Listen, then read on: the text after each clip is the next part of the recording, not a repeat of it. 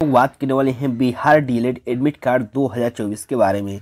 जैसा कि आप जानते हैं कि बिहार डीएलएड का जो एग्ज़ाम है, वो एक अप्रैल से लेकर यहाँ पे 28 अप्रैल तक होना है। हालाँकि ये जो एग्ज़ाम है 30 और 31 मार्च को भी होना था, लेकिन इस एग्ज़ाम को पोस्टपोन कर दिया गया था। और मैंने आपको पिछले वीडियो के माध्यम से बताया था, मेरे पास बहुत सारे ऐसे क्वेश्चन कमेंट देखने को मिले कि सर। अभी तक हमारा एडमिट कार्ड डाउनलोड नहीं हो पा रहा है। तो मैंने आपको बार बार रिप्लाई देने की कोशिश की है कि जो आपका एडमिट कार्ड है पाँच अप्रैल 2024 से आप डाउनलोड कर सकते हैं सभी कैंडिडेट। यानी कि अगर आपका एग्ज़ाम नौ अप्रैल के पहले है या फिर नौ अप्रैल के बाद है, कभी भी आपका एग्ज़ाम है बिहार डी का, पाँच अप्रैल से जो है अपना एडमिट कार्ड डाउनलोड कर पाएँगे। और आज है पाँच अप्रैल 2024 देख सकते हैं सुबह के अभी साढ़े आठ बजे हुए हैं तो मैं आपको डिटेल में बताता हूँ कि आखिरकार आपको एडमिट कार्ड कैसे डाउनलोड करना होगा, कब लिंक एक्टिव कर दिया जाएगा एडमिट कार्ड कैसे डाउनलोड करना होगा और एग्ज़ाम हॉल में क्या क्या लेकर जाना होगा, इसको लेकर हम लोग सारा जानकारी समझ लेते हैं। सबसे पहले आप इस वीडियो को दोस्तों के साथ ज़्यादा ज़्यादा शेयर कर दीजिएगा, ताकि सभी कैंड के पास इस वीडियो के माध्यम से सही जानकारी मिल पाए। देखिए एडमिट कार्ड डाउनलोड करने के लिए आपको वीडियो के डिस्क्रिप्शन बॉक्स में लिंक मिल जाएगा,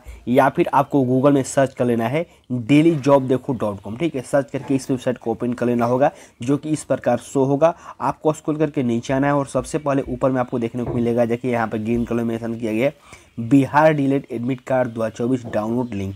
सिंपली आपको यहाँ पे क्लिक करके इस पेज को ओपन कर लेना है, ठीक है? इस पेज को ओपन होने के बाद आपको कुछ ऐसा इंटरफेस खुल कर आपके पास आ जाएगा। यहाँ पर देखिए सारा इन्फॉर्मेशन दिया गया है। एडमिट कार्ड डाउनलोड करने के लिए आपको स्टोर करके नीचे चले आना है। इसके बाद आपको यहाँ पर देखिए पोर्टल लिंक का ऑप्शन देखने को मिलेगा। और सबसे पहले ऊपर में देखिए मेंशन किया गया है, एडमिट कार्ड डाउनलोड। सिंपल यहाँ पर क्लिक है पर क्लिक करके जो है आप अपना एडमिट कार्ड डाउनलोड कर सकते हैं। जैसे हम यहाँ पे क्लिक करेंगे तो यहाँ से नेक्स्ट पेज ओपन होकर आएगा, जो कि आपको रीडायरेक्ट कर देगा और यहाँ से आपको अप्लीकेशन नंबर और डेट ऑफ़ बर्थ डालकर यहाँ पर आप देखिए एडमिट कार्ड चेक करने से पहले मैं आपको एक बात इंपॉर्टेंट बता दूँ। बहुत ऐसे कैंडिडेट हैं जिनके पास अप्लीकेशन नंबर नहीं है। तो मैंने आपको पहले ही बताया था कि जो भी आपने नंबर दिया है, उस व्हाट्सअप पर आपको अप्लीकेशन नंबर भेजा जा रहा है सभी कैंड को। ठीक है, आप अपना व्हाट्सअप नंबर सर्च कीजिएगा, अपना व्हाट्सअप खोलिएगा और वहाँ पर सर्च कीजिएगा। बी एस बी या फिर बिहार बोर्ड तो यहाँ पे आपको व्हाट्सअप पर आपको एक मैसेज आएगा, जो कि मैं यहाँ पे स्क्रीन पर लगा देता हूँ। आपका अप्लीकेशन आईडी वहाँ पे शो हो जाएगा, अगर आपके पास अप्लीकेशन आईडी नहीं हो तो ठीक है?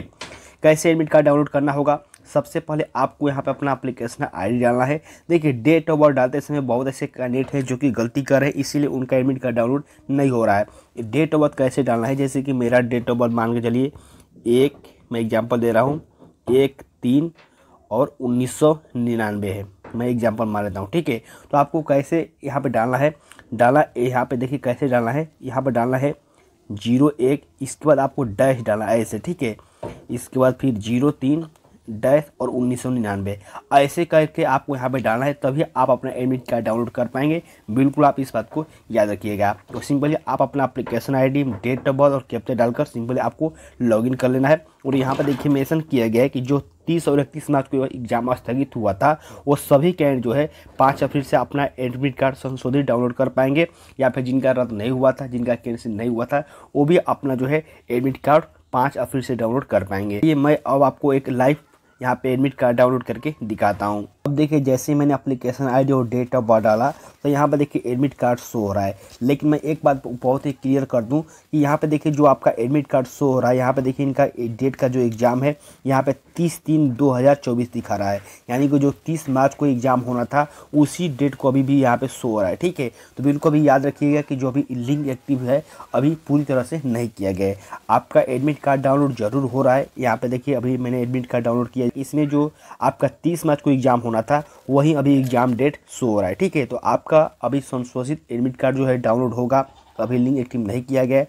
अभी सुबह के साढ़े आठ बज रहे हैं, लेकिन मुझे उम्मीद है कि आपको दोपहर में एक दो बजे के आसपास जो है आपका लिंक एक्टिव कर दिया जाएगा। अगर थोड़ा लेट होता है तो शाम तक हो ही जाएगा, ठीक है? तो मैंने आपको बता दिया कैसे चेक करना है। अभी लिंक एक्टिव नहीं है, जैसे लिंक एक्टिव हो जाएगा पूरी तरह से तो मैं आपको टेलीग्राम ग्रुप या फिर व्हाट्सएप ग्रुप के माध्यम से बताऊँगा, या फिर मैं एक स्पेशल वीडियो इस पर ज़रूर लाऊँगा, ठीक है? तो बिल्कुल सिंपल सी प्रक्रिया ऐसे आप अपना एडमिट कार्ड डाउनलोड कर सकते हैं। या देखिएगा जिनका एग्ज़ाम तीस और इकतीस को होना था, अगर आप अपना अप्लीकेशन आईडी और डेट ऑफ़ बर्थ डाल रहे हैं और आपका पुराना ही एडमिट कार्ड शो रहा है तो आपको इसको प्रिंट नहीं करवाना है। आपका न्यू एडमिट कार्ड जारी किया जाएगा, ठीक है? जो भी आपके डाउट होंगे वीडियो के नीचे कमेंट करके ज़रूर पूछिएगा। तब तक के लिए वापसी जय हिंद।